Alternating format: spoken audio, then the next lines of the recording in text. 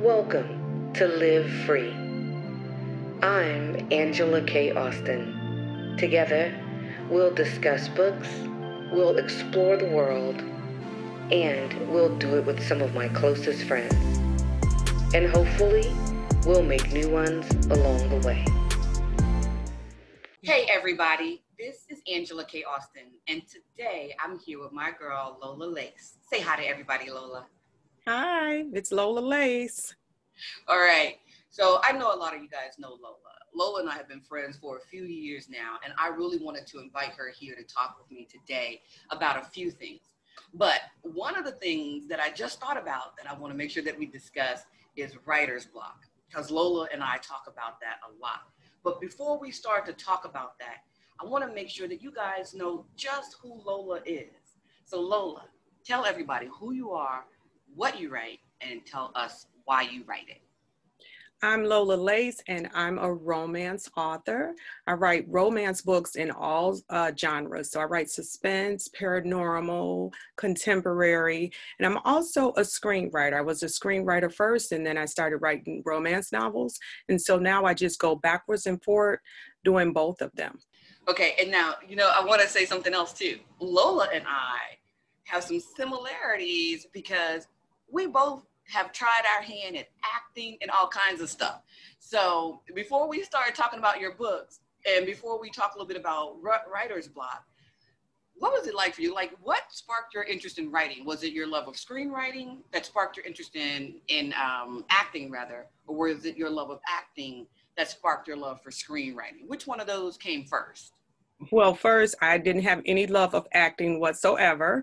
So I only did that in order to be on the set so I can see how it operates because it was my goal to become a screenwriter and one day possibly direct my own film. So I just kind of was, I was a person who hung around the set and I acted here or there. You know, I was in a movie and it, you know, it was an independent film, but I didn't really enjoy the acting. I like being behind the camera. So that's where the writing comes in. I always wanted to be a screenwriter, and I wrote my first screenplay um, senior year of high school.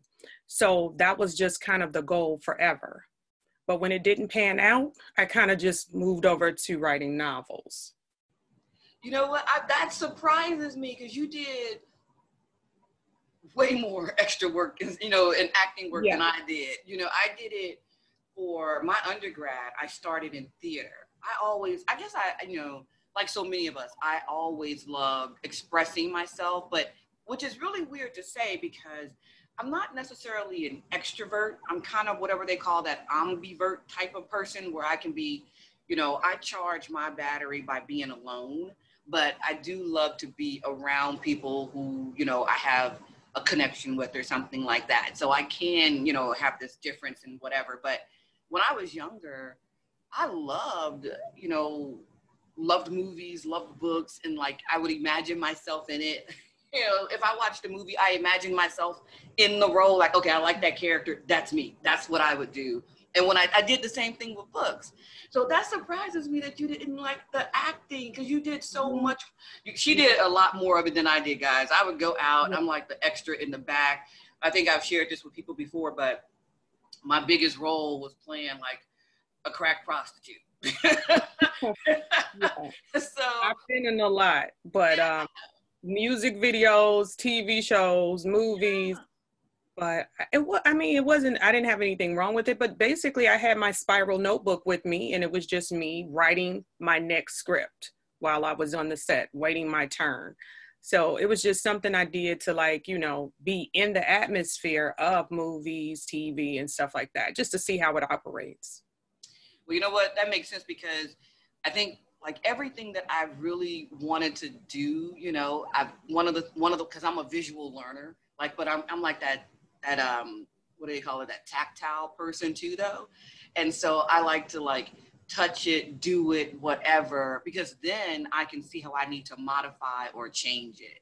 Exactly. so that makes a lot of sense to me. So with your screenwriting right now um what are you doing? Tell us tell us about single and ready a little bit but okay. you know but but tell us what else is happening with the screenwriting. What are we doing there Okay, um, I wrote Single and Ready. I think I wrote it at the end of 2018 and it was produced in uh, January 2019. So that was just last year. And it started off as a web series. And what happened was the producer of the web series took it and put it together and made it into a movie that is currently on Amazon Prime right now. So when you watch it, it's more in a web series format instead of a movie format, but it was put together that way. Um, it was uh, the first actual um, screenplay script that I got produced. So after that, I got two more um, web series produced. And now currently I'm working on another, um, I'm shopping a pilot around. I wrote a pilot script, so I'm sending that out. But right now, currently, I am writing a different screenplay. It's a movie. Like the books of yours that I've read, you know, and the books that I know that you have out there, you focus, you know, well, you you have a lot of books that focus on the African American woman. And Single and Ready had an African American woman who was kind of like at the center, and this is what her her dating life and dating experience. So with your other screenplays, are you staying in that lane, or are you going more in a different direction, action, or you know anything else? Like, are you staying in the romance genre? Well, everything I, I try to have sometimes a romantic element in them, but the pilot script that I just uh, wrote a while ago, a few months ago, it is a vampire script. It's a TV series, so it is a vampire script. So there is romantic elements in it, but mostly um, it's multicultural. So it's not centered on like a black female heroine. But um, the one I'm currently working on, yes, I wanted to be an ensemble cast of black women. Which makes me also have to ask. So I know and you heard me say this before, you know, but you know, I write what I write because I was born and raised in the southern part of the states. And quite frankly, you know, I like to see African American women, I, I, like to see us loved and desired and have passionate relationships. And I just like for Black women to know that they can have those things. They don't have to accept, you know, something less than. So as you're writing your books and as you're doing your screenplays, you know, whether you have a multicultural cast or you're focusing on African American woman, like like what's inspiring you to put those words on the page and to tell whatever that end story ends up becoming? Like what was your motivation, you know, kind of behind doing either of the two screenplays or books? Well, um, definitely, I was doing screenplays at first. I had an agent, but nothing ever really came of it.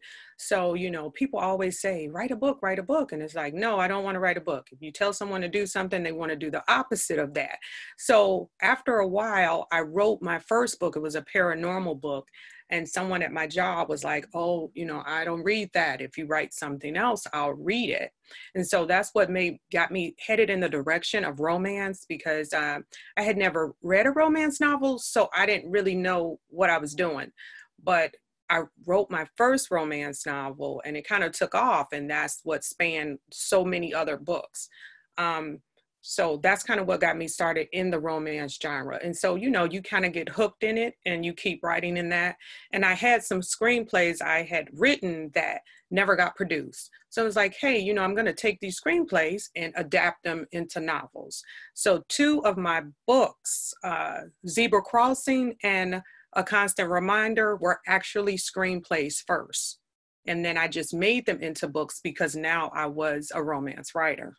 Like I love what you just said right there. So I talk to a lot of people who want to figure out like how do I get published? Like, you know, Angela, what about this and what about that? And you know, and then if it doesn't happen for them, like I, I had for the longest time um, an author friend who all she ever did was submit her books to traditional publishing houses and it never took off for her and so i had advised her to you know submit to some of the smaller digital press you know and then that didn't take off for her either. And she you know felt so i think like just uh, dejected like rejected to where she just stopped. She gave up. She never tried the self-publishing route or just anything. She just gave up on the whole thing because you know other people didn't want what she was writing. And i love that you know you're like okay i started out with screenwriting that didn't do what I wanted it to do. And so then I went into books and now you're going back into screenwriting. I love the fact that you didn't kind of give up on it because like the mainstream wasn't like looking for what you had to offer at that time, you know. So can you talk about that a little bit? What made you keep trying? Well, what happened was with the screenwriting, I did I that's what I did. Um, I would try to get my uh, screenplays published. I would enter contests and I would get the, you know, it was good, but not good enough. So to me, that was enough for me to keep going and not give up. You know, if you get some positive feedback, it really makes the difference. You know, if someone says this is trash, now you have to reevaluate things, but I never got that. It was like, hey, we almost put you through to the next round or whatever, but, and all the um, feedback that I got was pretty good. But I said, just, you know, keep on going, keep on trying. And then when it didn't pan out, it's like, you know what? I love to write. I love to write. I'm a person who I have like, I have songs, I have raps. I love to write.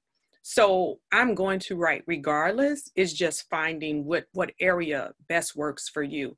So I started writing the books and it was like, you know, that kind of took off for me. But the first book I wrote was a paranormal uh, vampire novel. And I did submit it to traditional publishers, at least 50. And it was like, no, you know, it was rejection after rejection. But I still wrote the second book. Then I wrote the third book. And then I started writing more in the romance genre. I just, you know, once you finish that first book, it's really, really, uh, it feels so good that you, if you really have the writing bug in you, if you have that creativity, you're not going to stop at one book. You're going to keep moving forward. You know, I'm sure some, everyone probably can write one, but if you really feel it, you will continue to write and you'll be writing 40 books. That's just the way it works. I completely agree with you on that because, and that's what I kept trying to tell her. And it's just, you know, right now what those publishing houses were looking for it may not have aligned with what she was writing but don't give up on yourself especially if it's something that you truly love that's like you feel like it's just kind of like in your blood right it's like you mm-hmm. know when you for me you know i use i was one of those people like so many of us had the diary when I was a little wee one, you know, and as I became a woman, I stopped calling it a diary and called it a journal, you know what I'm saying? but it was like who, you know, all of us, you know, it's, we all have these ways of expression, expressing ourselves. I did like you, I would do poetry, I would do music, you know, I mean, I played a few different instruments. I was always looking for a way to express myself and for me, at this time in my life, it just landed on, you know, writing. I love it. I love cobbling together the stories, you know, right. and that was one of the things that I really tried to get her to do. But I think she just, you know, it's like at a certain point, you just get so much rejection. She could no longer find the positive in it. And she just yeah. kind of walked away from trying. And, um, and I say all that because I wanted to talk a little bit about writer's block, you know, because you know like with you you did your screenwriting and all your other things and you came around to writing books and back to you know screenwriting but you never gave up you kept figuring out different ways to express yourself mm-hmm. but you know you and i and and some of our other friends and stuff we all talk about writer's block you know you hit that wall and with this friend of mine she hit that wall because nobody was looking and checking for her work but you know like right now for me, I have, you know, over the past so many years, I've just, guys, I battled with writer's blocks for, you know, writer's block for a few years now. But in the current, the current climate of what's happening around us, how, how has that impacted your writing at all, Lolah? I know for me, it really like, you know, I look forward to all of us doing writing sprints and all kinds of other things, although we don't write as much as we used to. but, you know, but I look forward to um, you know, communing or fellowshipping with other people who are in the game and in the game because we want to actually make this work for us. And mm-hmm. so, but when you're having that writer's block and battling with actually trying to make a story come out of here and get onto the computer, what's been working for you? How have you been dealing with writing in the current environment? See, my issue, I hate to claim writer's block because I don't think I've ever actually had a block for writing. It's a block for finishing a project that I start because a lot of times your brain has so many different ideas and things in it. It's hard to just concentrate on the one thing. So I, you know, I would feel like, you know, I can't say that I have writer's block. I can write, but the issue has always been for me from the beginning of writing, um, especially with uh, novels, is finishing something you started because you can start a novel and you get an idea for another novel. And something is compelling you to write that now. And now with screenwriting being in the mix for me it's a little difficult for me to st- stay focused on a particular book that i'm writing because i will get an idea for another book or i'll get an idea for a script.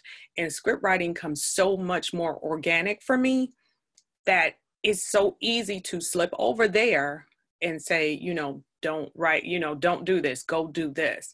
Because I've written things during the pandemic, but it's just finishing things. You know, you kind of have to jump on it right away before you start thinking of something else, if something else pops into your mind to inspire you.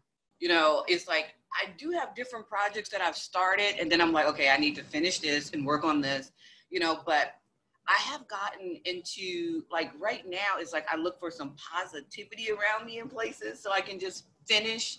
You know, it took the, the, the book that I'm working on right now that is like even like up to the moment that you and I started this conversation, I'm like, okay, I gotta get this to the editor. But it's like I've been working on that book, I swear, for like two years, you know, because it's and it's not, um, it's definitely a novella, you know, at, you know, at its current state. Well, I guess it probably is considered full full length, but you know, and I do, it does take me longer to write than a lot of people. I would probably say for my full lengths, it does usually take me somewhere around eight to nine months to get a book finished, just because of the nature of how I write. But I, you know, I have to say, like for me, I, it's like literally, I have been hitting a wall with some of them because it's just like trying to make myself push forward and finish it. And so, you know, for me, you know, guys, it's really been great to have people who are in the game really trying to make a success of this that I can like call and text and you know and be like, hey, what are you guys doing? You guys hear about this? You know, I was I was literally I literally just sent um, you a text. I don't know if you saw it, Lolah, before we started, but it was because you know of this whole desire to go wide with my books, and you know, and so I went onto one of the websites where I'm trying to make my book available and saw that somebody had uploaded a PDF, you know, of my book. I'm like, wait, that book, it's like, how long has this PDF been on this thing, you know? Okay. And why would the website allow them to put that up there? You can clearly see the name of the person, you know, and I guess they could be like, oh, that's a pseudonym or something, but they literally have a, a full on PDF from the cover to the last page loaded up on that website and you know it's just things like that being able to talk about things like that with people. Right. So i'm like okay what you know what's my next option now? What do i do? How, let me get my book off of here so i can actually sell it and make a dollar off of it. Mm-hmm. but you know it's just wild that you know that during this kind of chaotic time in our history you know so many things are going on. I'm like okay but i gotta focus. I've got to get my my mind right you know? And it's, it's really good to have people to be able to share that with. And i wish i you know did have your problem, Lolah. Like, got so many ideas. I'm like, yeah, these ideas. I'm trying to get them out there, but you know, hey, enough hours in the day. It's just not enough hours. So, mm-hmm. I mean, I try, but it's so many. Un- I have so many unfinished novels, and it's like, when will I ever have time to finish these things that have thousands of words in them? And it's, it's basically a, a, question of just focusing on one thing but in the pandemic in life in general having your regular everyday things you have to do it's hard to really keep a focus on one thing. So i'm going to try. You know and, and, look we all trying. We're going to keep trying together see what we can make happen. So um, and that brings us to what books are you working on you know tell us what's happening with some of these with some of these projects. Where are we? What's the next thing?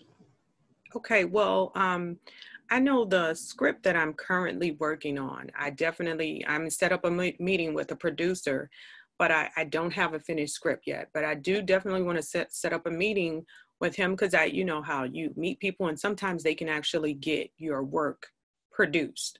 So that is the goal with all screenwriters. You want to get your, you want to see your stuff on the screen.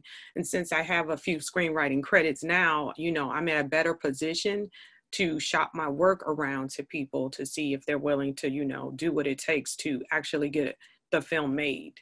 Um, as far as the books are concerned, I am working on a book that I was working on with another book. And you know, you have to choose which one has to be finished.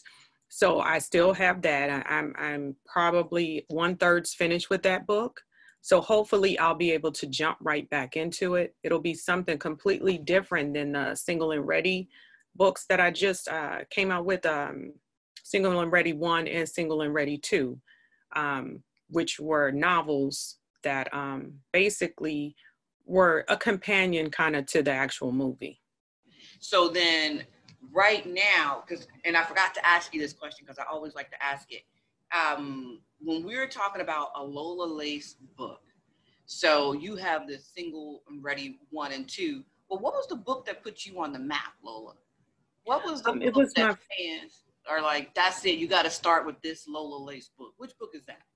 My first romance novel and that's like i said i didn't even i had never read one. Like i wasn't familiar with romance because i never read it. I read stephen king and stuff like that.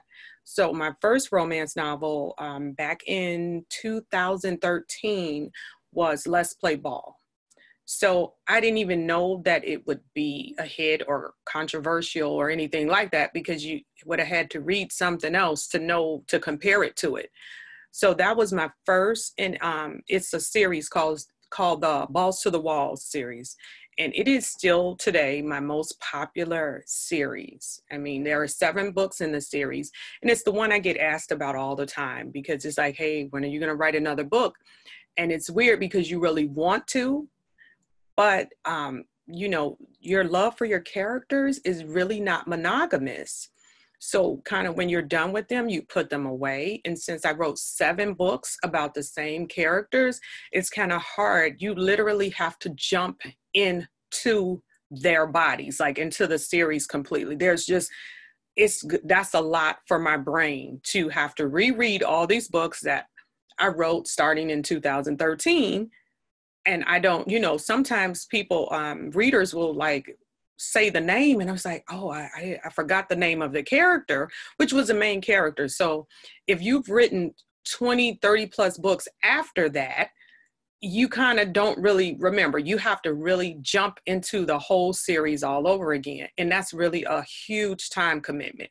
To reread seven books, you know, you have to take notes um, so you don't mess anything up. You got to make sure you send it to beta readers if you do finish the book to make sure you have everything because this happened before with beta readers. You'll give them a book and they're like, the car isn't gray, the car is blue. And I'm like, oh man, I wrote it and I don't remember that. So, I mean, that is something that's one of my goals definitely for 2021 to write another Balls to the Walls book because it is my most popular series. You know, it's so funny you say that because I tell people that all the time. I, you know, I create, I try to create what I call book Bibles. But I swear to you, I have, I've only done one series that I've actually gone into with two books, but it's supposed to be four books total. But the first and second book of that series, I have print copies that are just highlighted with different things so I can like use it as a quick reference. And it, it's so crazy though, because it's when you create the world and I haven't written as many books as you, but it's like when when you create the world, you would think that you would remember so much of it. But I'm like, wait, which wood did I use, and and mm-hmm. which whatever did you know what I mean? And so I have to go back to my book Bible, and people are like, why don't you like? One of my friends challenged me. She was like, well, how do you not remember your own book? I'm like, you know, it's like I may not have written 40 books, but I've written quite a few and I can't remember every detail. So right. when you write in the series world, you do have to like remember all of that. And I think I'm trying to think one of the books I read in that is Violation. Is that part of that? No, it, it seems like it is because it's Balls to the Wall series. Yeah. Violation, no, it's a standalone book. That book did really well for me um, because it was a basketball book during yeah. Yeah. and so and it also was a flip the script book because you know it was like the woman was more in charge than the man so yeah, yeah i really enjoyed writing that though. That was one of the first books i remember reading by you and i'm like i was trying to remember all of you. I'm like wait was that part of that series? Is it you know? I couldn't remember but but that was really that was a really good book guys. I'm gonna make sure i link it in this because that was thank you. I really enjoy it um, and so the next book that we can expect from you is single and ready Single and Ready too. Yeah. Okay. It's out now. So yeah. Yeah. So now for people who have not seen the movie or who have not read that Single and Ready one, can you tell them about it? Because this one I thought was really cute guys. I sat there and I watched the movie and I was like, and this is this is what's so funny. This is one of the differences between me and Lolah. We were both at the same event. We both listened to the same dude say the same thing. We both have a love of, you know, theater, movies, books, writing we both want to see our books manifest and become movies. We both are writers. We both have the same opportunity. Uh, but who has a movie and who does not have a movie? I'm just putting it out there. I'm just saying. Lolah was like, why didn't you guys just look the dude up, reach out to him? I was yeah. like, so you know i'm just gonna put myself out there i did not take advantage of an opportunity that was sitting right in front of me guys but um, but Lolah did. It's about the storm here, guys. Can y'all see the dark shadows coming across my face? But um, it's been raining here for days. But talk to us a little bit about Single and Ready, Lolah, and just a little bit about how you got that book turned into a web series and then into a movie. I know we hinted to it a little bit at the top, but you literally did take advantage of an opportunity that was presented not only to you and I, but to so many people, but you took advantage of that opportunity. Can you tell us a little bit about that? Okay, yeah. Um, I met the producer of Single and Ready at uh, an event that Kasana Dwight um, uh, hosts called uh, the Interracial Romance Author Expo. So it's down in Florida and it's an annual event for um, uh, authors and readers of um, interracial romance. So what happened was um, I met the guy who is the producer, and I started talking to him, and basically, I from what I gather, I was the only one author at the event who was actually a screenwriter. From what I get, gather, so that did give me the one up uh, on others, and just to see if he was legit, I went and, you know, did my research. I Googled him, saw what movies that he had produced. And um, so he had a lot of movies on Amazon. So he was a legit producer who actually had credits. So, you know, I went over to the Internet Movie Database to see if he was over there. You know, I did all the legwork to see. And so when I did contact him or, and we talked, it was basically in regards to writing something completely new. So my book wasn't actually adapted into the uh, single and ready. What happened was this is my original idea. So what i did was i sent him a treatment of five different ideas and you know to see if he was interested in producing any of the ideas. So just five separate treatments for five separate shows and he picked single and ready and then that's what what made me start to write it because you know why write it if someone doesn't want it? It's a waste of your time. So i gave him the idea saw if he gave it the okay and then i went to write it. And so um, shortly thereafter it was produced. And i really didn't have a hand in that at all. I didn't cast anybody. I didn't pick the actors. Some certain scenes and words of dialogue were cut out but you know i didn't have anything to do with that part of it. And I just wanted her to tell that story, guys, because take advantage of your opportunities. yeah. That's all I can really say to that. You mm-hmm. know, we were all there. We all had the same opportunity. And to my knowledge, I don't know of anyone else who did, but if someone else did, holler at me, let me know. But to my knowledge, you know, you were the only one who really took advantage of that opportunity. And yeah, I saw that he was legit. You know, that's the, you know, did my research and I saw that he can make movies happen that was like okay so this person really does get things done. Yeah. Because it took you like what was it like a year after the event before the movie before the web series started? Or well no because uh the event is in april. Yeah. And um i wrote it sometime at the end of that that year. Okay.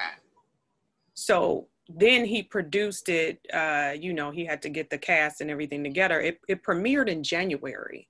Okay. So it wasn't a full year from meeting him to it actually being on the screen. Yeah. Like I say, guys, take advantage of opportunity. It took less than a year for her to see that realization of something that she really wanted to happen.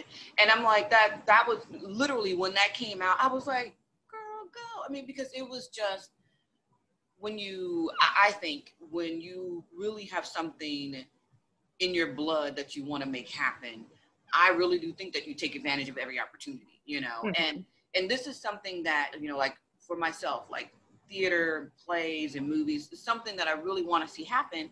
But you know, I've got to get on my grind, just like Lolah. If there's something that you guys want to make happen, you cannot sit and wait for it to come to you. True. And then also your age doesn't it's not a factor also because I know that if I went all those years thinking I would never have a movie that I had a writing credit on. Like I wrote this, mm-hmm. um, you know, because I had been in things before, but the credit of writing something that had never happened. And then, you know, you the years pass and you're like, man, I'm never gonna have that.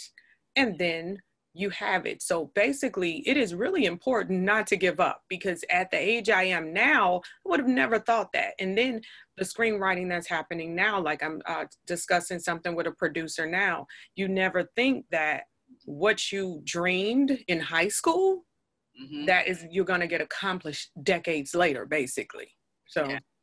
because we all have timelines you know like even if we don't say the timelines out loud be like oh by the time i'm 30 i'm going to do this and when mm-hmm. i'm 35 i'm going to do that we mm-hmm. all have these timelines and if we don't hit it by these timelines that are self-imposed then we think, okay, it's not going to happen. We give up and we walk away. And so, you know, I really, you know, that was some of the, you know, I really wanted to to get people to see that, you know, through this interview with you. You don't give up on what you believe in. Don't let age stop you. Don't let gender or race stop you.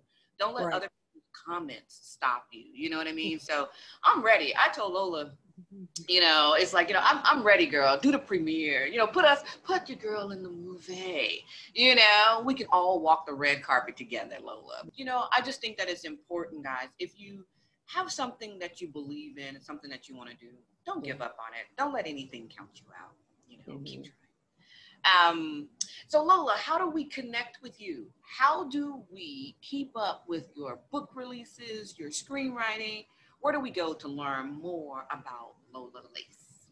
Okay, the number one, the best spot on the planet to learn about Lolah Lace would be my website, and it's uh, www.lolahlace.com.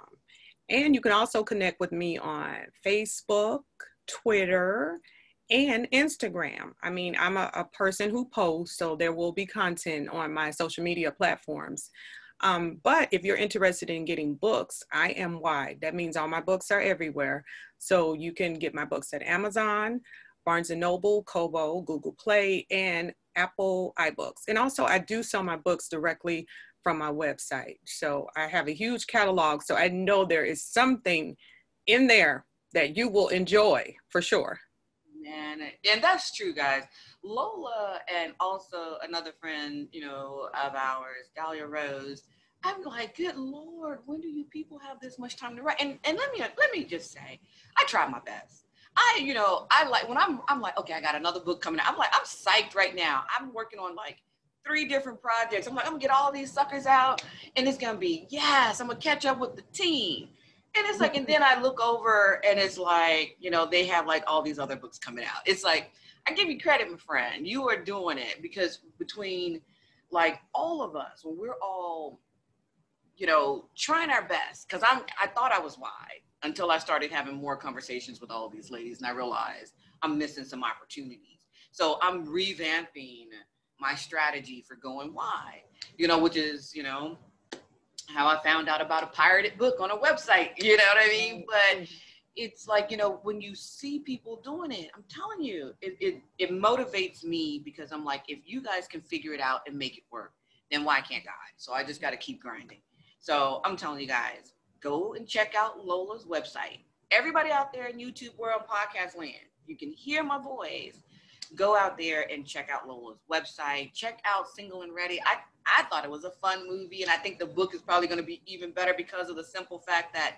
you know, I know that Lolah's got some things going on with book two, and I'm like, I just, I just want to know what happens after the yeah. final scene. I, I, just need to More know more details in the book than in the yeah. movie itself. So definitely, the book is a different experience than the movie. Yeah.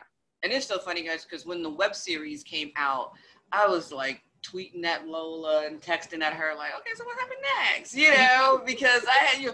Why yeah, must I wait? Why must I be a common person out there who doesn't know the author? But it was funny. I was like, tell me what's happening next. So I'm I'm really looking forward to Single and Ready too, guys. So check out Lolah's website. Check out her social media. You know, get in touch with her. Find out what's going on. See what she's got up next. You know, Lolah, my girl, thank you so much for joining me. Thank you for having me. I really appreciate being on your YouTube channel. Thank you so much. And Lolah, you have your own YouTube channel too. Do we need to do a yeah. shout out for that? You know? Yeah, please. I mean, I, am I'm, I'm everywhere. So yeah, I'm I'm at Twitter, YouTube. I'm everywhere. I'm on Pinterest even. I'm everywhere. I'm on Pinterest. I don't. Is anybody still on Pinterest? I'm on Pinterest too. I mean, you know, it's got some great yeah. ideas and recipes if you're a crafter. Um, so check out Lolah's YouTube, everything. Everybody out there, YouTube world, podcast land, thank you for joining us. I'm Angela Kay Austin. This is Lolah Lace. Catch us on your favorite social, and I will see you all again soon. Thank you guys. Bye.